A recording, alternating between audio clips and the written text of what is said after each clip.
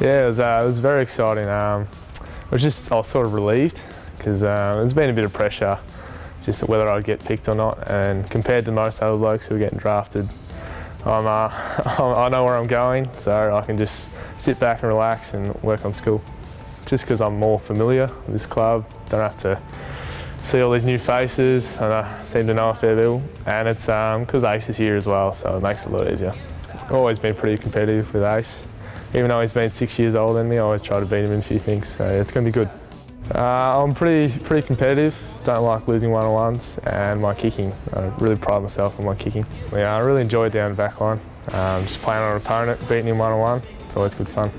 Well, probably in the last oh, two years, I started really watching Corey Enright from uh, um, Geelong.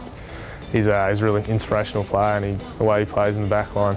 Um, hopefully, I can do something like that.